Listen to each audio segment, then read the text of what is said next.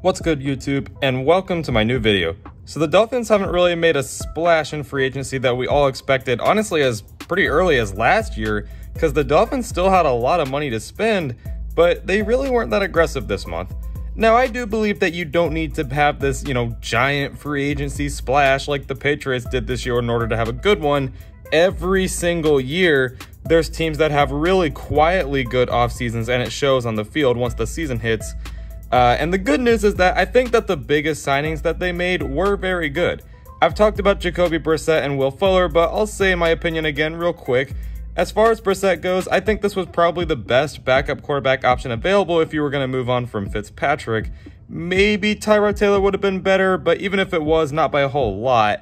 I think that this is a, like really good because if it turns out Tua just isn't the guy next year, we do have a really good backup option who, as a starter for the Colts, was also very solid.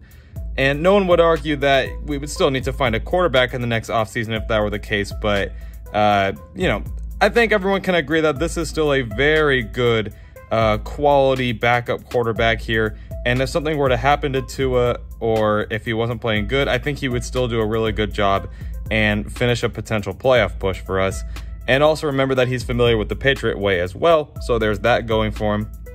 Um, and as for Will Fuller, great pickup here. Miami definitely needed some help at receiver, and he and along I'm sorry, he alongside DeVante Parker would be a really nice receiver duo. And if Parker were to get hurt again, you still have a really good top target in Will Fuller there. So good move. That means they're probably not going for DeVonta Smith, and honestly, that's good, but that's more for a draft video. I'll get to that a little bit later uh, in like next month or so, but he's a very fast and deep ball type of receiver, so you can extend the playbook a little bit more with him and DeVante Parker. And if the other receivers stay healthy, we'd have like a really good receiving corps because they definitely have depth. They just have to stay healthy. But anyway, alongside those two guys, honestly, they didn't get a whole lot. A lot of them you probably don't even remember their name.